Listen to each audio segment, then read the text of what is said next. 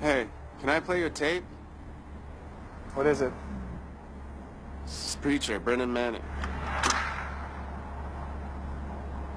In the 33 years since I was first ambushed by Jesus in a little chapel in the mountains of western Pennsylvania, and the literally thousands of hours of prayer and meditation, silence, solitude in those years, I am now utterly convinced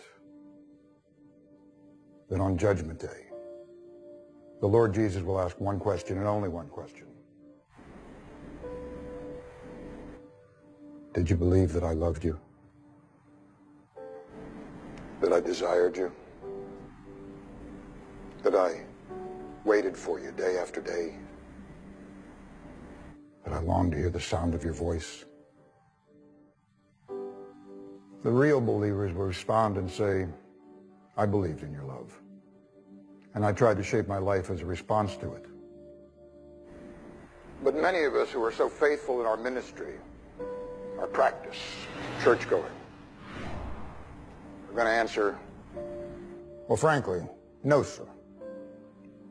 I never really believed it. And there's the difference between the real believers and the nominal Christians that abound in our churches across the land. No one can measure like a believer the depth and intensity of God's love. But then again, no one can measure like a believer the effectiveness of our gloom, our pessimism, our low self-esteem, our self-hatred, and despair that block God's way to us. Do you see now why it's so important to lay hold of this basic truth of our faith?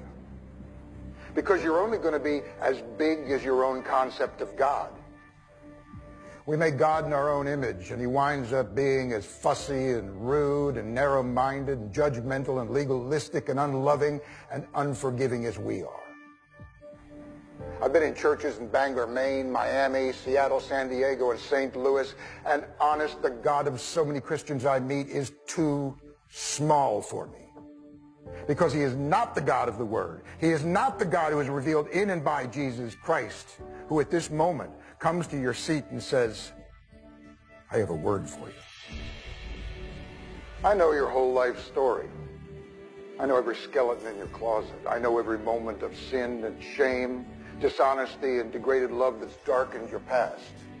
Right now, I know your shallow faith, your feeble prayer life, your inconsistent discipleship. And my word to you is this. I dare you to trust that I love you just as you are, not as you should be. Because none of us are as we should be. Well, what's up? You alright? Rich. Rich?